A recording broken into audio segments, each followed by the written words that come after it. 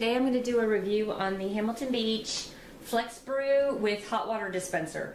Um, this is the newer Flex Brew. The original one was just um, a plain Flex Brew. You could do um, ground, K-cups, and pods, but it wasn't programmable and it didn't have the hot water dispenser. So this is the newer version, so I thought I'd go over some of the features with you.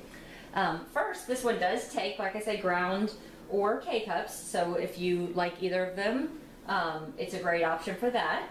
I'll show you how this works. It comes with a basket for the ground coffee, and it also comes with the K-cup um, attachment for the K-cups, and it's very simple to do. What you have to do is lift the lid right here, and I always leave the basket in there, and then just stick the K-cup adapter in there. And you can stick it right on top of the basket, so you can always leave that in there. Put it in there, and you just push until it punctures through the bottom. There's a needle on the bottom. And then I use a water bottle, which is an 8 ounce cup for an 8 ounce regular coffee mug, and just pour it in there. And so I have my K-cup in there. I've got my 8 ounces of water in there. Um, I was going to show you, you just press it down, and it's going to puncture the top of that. So now it's ready to go. Um, you can use two size mugs on this. You can use a travel mug for this side, or you can flip it upside down. Has these little hooks right here. It away a little bit. And you just press this like this, and you there you go. You're ready for your average size cup. I'm going to go ahead and push start, and we'll start talking about it. So right now this is going to go um, go ahead and start brewing. It also has another tank over here that opens up. This holds 16 ounces.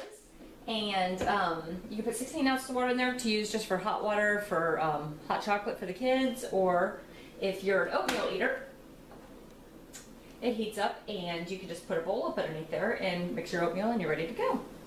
Um, the thing that I love about most about this one, it is programmable. So it has, um, you can program it to do a normal, like strength coffee. It has a bold coffee and then it has water only.